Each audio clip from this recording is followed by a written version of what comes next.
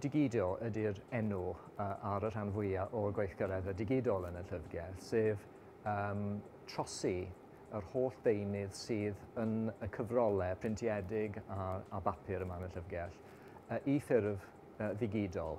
fel bod pawb yng Nghymru a thu hwnt uh, yn gallu cael gweld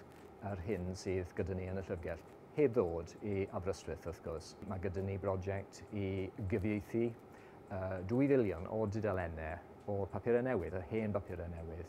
ac wedi'n dodi nhw ar y we fel bod pawb yn gallu, wel, chwilio am bob air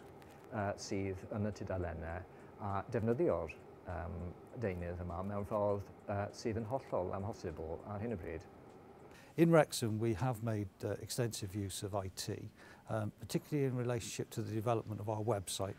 So we provide a number of services to the public whether it be to report a problem, to make a payment, or just to gain information about what the authority is doing. And I think we need to take that now as public sector much wider to actually now start delivering a personalised service for members of the public uh, when they deal with the public sector, whether it be health, whether it be local government, whether it be the police, whoever they deal with in the public sector, we should be able to deliver services electronically to them in the way which they want to receive it.